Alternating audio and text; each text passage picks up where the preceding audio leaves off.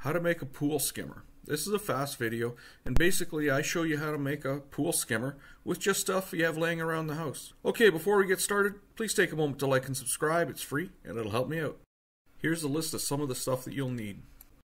A plastic pipe. I used a 1 inch piece of PVC piping, worked great for me. Most of the people want a flat edge, so it's best to use a wire coat hanger rod. I ended up using a fiberglass pole but it was all that I had and I couldn't find any metal coat hangers.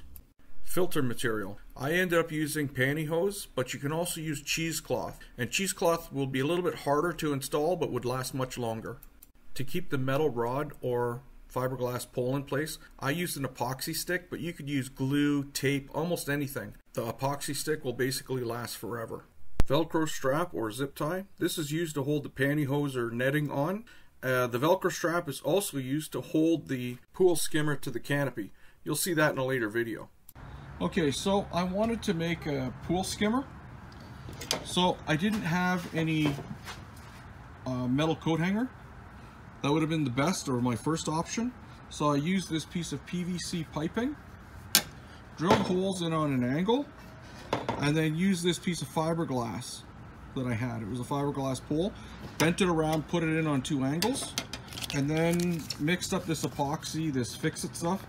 It's like five bucks for a roll, and then you just mix the putty up together, and then it hardens rock hard. And then I put some down into the end as well. So then I'm going to take a piece of pantyhose, and I have a Velcro tie I'm going to put on there, and that's going to be my pool skimmer. Then all we need to do is slide the rest of this on, put the Velcro on, and we're done. This pool skimmer is now a year old. I haven't replaced the nylon yet. It seems to be holding up nicely. Now where the Velcro here comes in really handy is I have a shelter above the pool to keep the sun out. So it has a Velcro lining. So all I do is attach that to there and that's actually how I hang up my pool skimmer. Hopefully you enjoyed the video and picked up an idea or two. If you got any value from this video, please like and subscribe. It's free and it'll help me out. All you have to do is click on the icon on my face and I'll do the rest. Thanks for watching. Have a great night.